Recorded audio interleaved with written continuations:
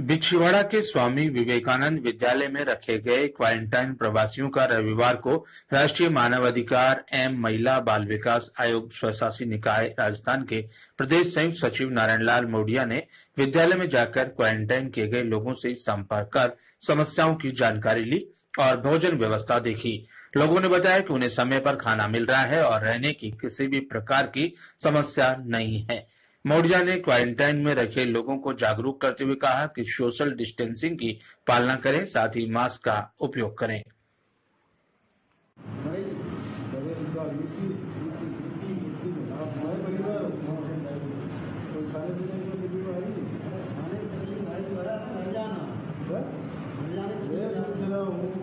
खाने पीने रहने में कोई तकलीफ़ आ रही है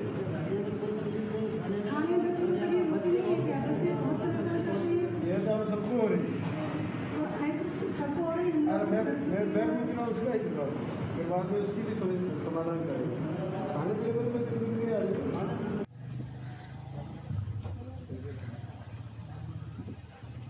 मास्क लगा के रखो।